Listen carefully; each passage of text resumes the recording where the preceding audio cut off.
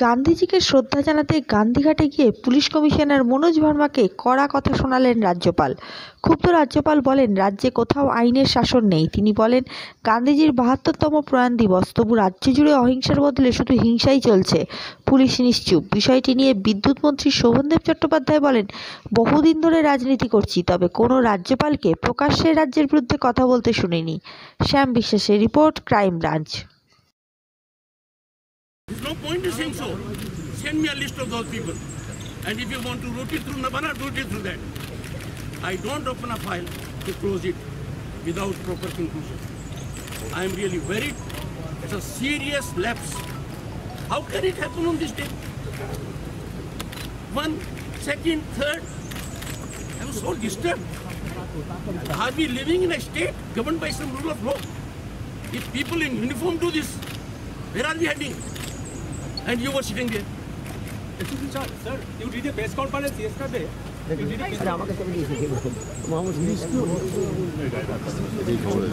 You can't be in order.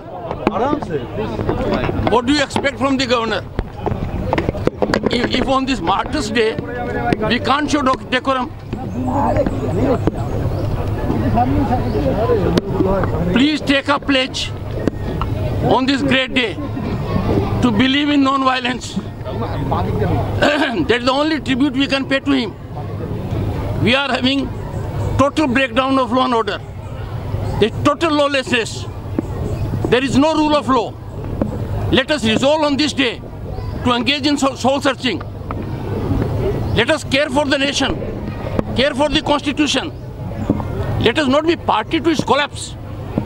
What we have seen is a very, very worrisome situation. I expect and pray to the media, look around and see this collapse of rule of law, total lawlessness. No one respects law. People who are supposed to be taking care of law have become law unto themselves.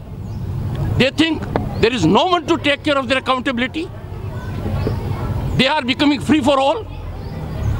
The only language they understand is they have got into politics. And bureaucracy, I'm sorry to say, has forgotten its role. It's a very, very worrisome situation. State of West Bengal is passing through very explosive situation. What I saw at Calcutta University, where was Calcutta police? Did you see a single uniform man? You want to see the Home Secretary? You can't see him. Very painful scenario. On this day, let us believe in the man who brought us independence. Let us believe in the man who gave us this freedom. Let us believe in the man who gave us this democracy. It was earned through the blood of people. We can't allow it to be wasted like this at the whim, caprice, and misguided souls of someone. Please, for heaven's sake, believe in it. I will not answer any question.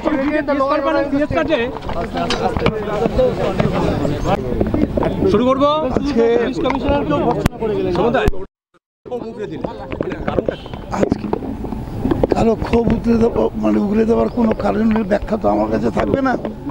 তো এইটুকু বলতে পারি যে রাজ্য সরকারের পক্ষ থেকে মন্ত্রী হিসেবে আমাকে মুখ্যমন্ত্রী পাঠিয়ে পাঠিয়েছেন। এটা নতুন কথা নয় এর আগেও আমি দুবার এসেছি। কোনো প্রোটোকলের বাইরে নয়। এর আগে আমি দুবার এসেছি। অন্যান্য মন্ত্রীরা এসছেন।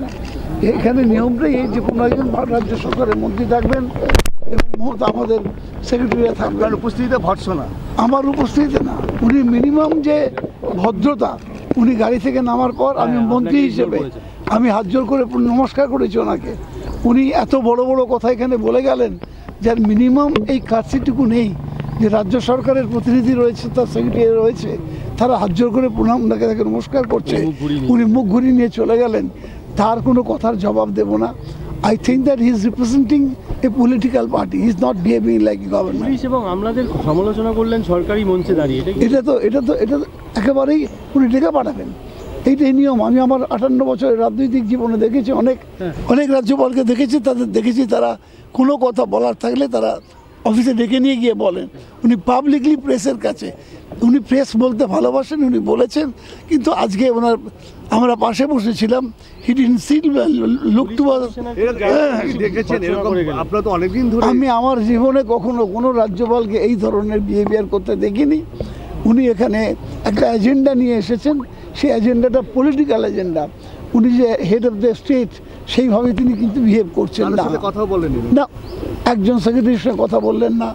আমার সঙ্গে তো কোনো কথা বললেনই না। আমরা সকলেই হাত জোর করে নমস্কার করলাম। তার প্রতি নমস্কারটুকু উনি করলেন না। অনুষ্ঠানে ডাকা হবে? সেটা তো প্রোটোকল নিশ্চয়ই মুখ্যমন্ত্রী আমাকে আমি জিজ্ঞেস করেছিলাম যে মুখ্যমন্ত্রীকে যে আমি আসব কিনা এর আগে আমি এরম প্রকাশ্য রাস্তায় দাঁড়িয়ে রাজ্যের যিনি কনস্টিটিউশনাল হেড তিনি দাঁড়িয়ে এইভাবে তার পুলিশ প্রশাসন বা যাই হোক না কেন তার এই ধরনের মানে সমালোচনা আমি আমি আমি কখনো। শুনিনি। গান্ধীজির আজকে মহাপ্রাণ দিবস বাহাত্তরতম। তো সেখানে গান্ধীজির কথা না বলে সেখানে রাজনৈতিক কথা আমার রাজ্যপাল হান্ড্রেড হান্ড্রেড পার্সেন্ট রাজনৈতিক কথাই তিনি বলে গেলেন। কোনো নতুন কথা কিছু শুনলাম না।